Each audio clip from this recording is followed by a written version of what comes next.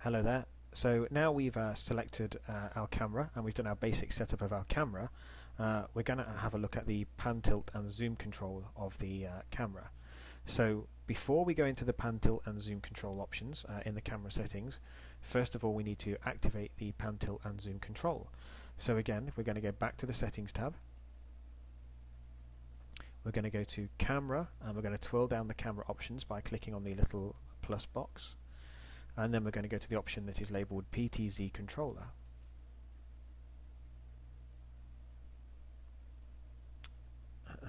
okay, so first thing is is make sure you have internal PTZ controller selected. Remember we're on port 4, so uh, at the moment we don't have a general PTZ camera connected, we have an AKCP camera. So if we uh, click the down arrow, you'll see that we have an AKCP pan tilt camera, not pan tilt and zoom. Uh, we're just using the pan tilt camera at the moment. Select that option uh, and then click save. Okay, so uh, that's all done. So now we can go straight back to the summary page. Make sure video 4 is selected. Okay, and then you'll notice uh, the first of all is when you actually move the crosshair uh, over the video, win uh, video window, it actually changes from a mouse arrow to a crosshair. Now by clicking anywhere in this image, it will actually move the camera. So for example, if we just want to have a look at the uh, emergency lighting box on the wall over there, we can click it, and there you go. That is now the center of the frame. And we can move it anywhere we like, 360 degrees around the office.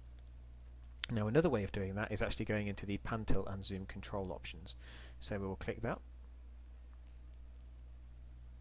Okay, and that brings up a uh, new window. So again, uh, you can click anywhere within this video window and uh, it will move the camera. Um, or you can actually use the D-pad on the left hand side here. Now the arrows uh, on the, the inner arrows here, if you click this, it will essentially move it a uh, three steps at a time, which is the increment uh, at the top of the page here. Again, if we click the up arrow, it will move it three steps up, left, three steps left, and down, three steps down. Now, the outer arrows will actually uh, move the camera to the maximum of its axes in either direction. So if we click the up, you'll see that the camera goes to the maximum. If we click down, down, and so forth. And the same is with the left and the right. So we'll click right,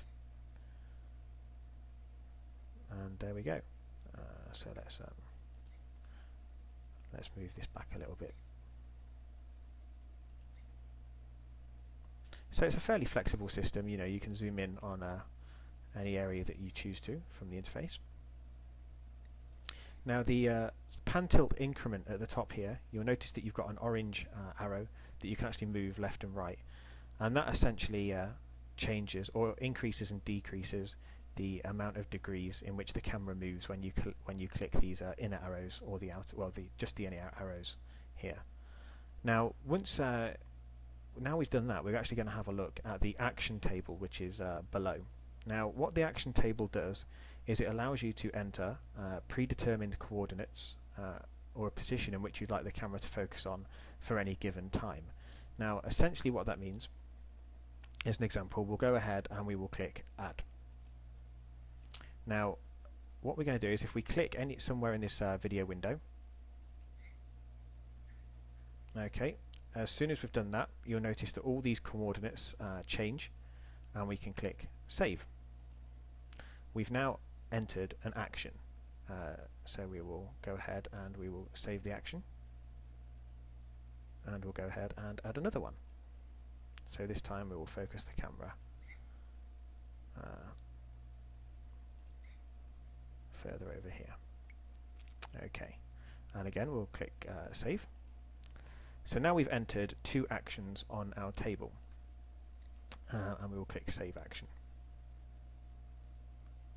Now once we hit run continuous the camera will continually flick between those two points uh, focus uh, constantly recording uh, and you can have a, uh, a whole sequence uh, in which you'd like your camera to focus. So if we click run continuous, you can see that it's now flicking backwards and forwards between those two points for a period of five seconds. Uh, you can also change that within the action table options. So there you go, that's how it's done, very very easy. Uh, we'll click off there. So in the main window you can see now that on it's still flicking between those two points. Uh, nice and easy. Um, and that's pretty much all there is to it.